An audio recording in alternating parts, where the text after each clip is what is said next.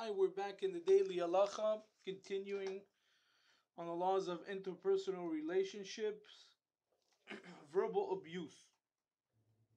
It is forbidden to embarrass any Jews, as the Torah says, do not bear a sin because of him.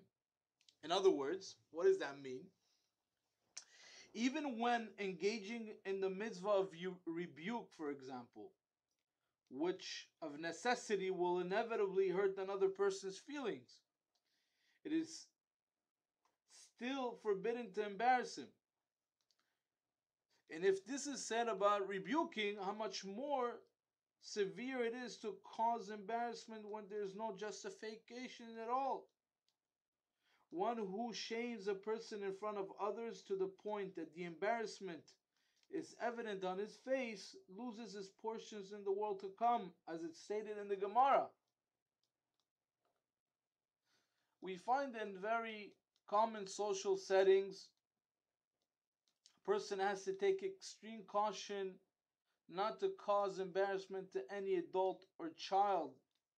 For example, we find in social setting people sometimes call each others by embarrassing names or remind them of events in their past of which they are ashamed, which is also under the prohibition of verbal abuse.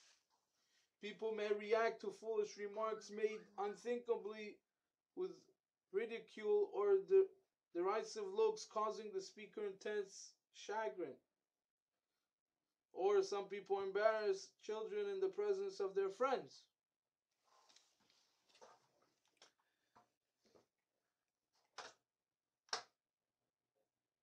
Someone who causes a convert distress violates several additional prohibition, making his transgression even more severe.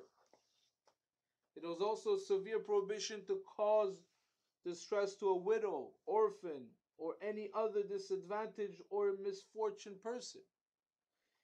Even through a slight gesture of facial expression could also be considered as verbal abuse.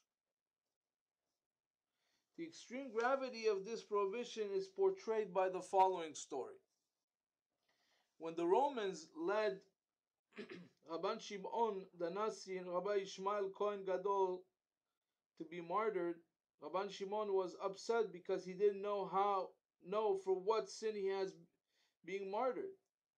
Said Rabbi Ishmael, perhaps a disadvantaged person came to you for a judgment or to ask a question and you made him wait until until you finished your drink or donned your talis or finished your nap. Yet the Torah says if you shall if you shall oppress them in any way however, however slight, my wrath shall be kindled, and I shall kill you with the sword.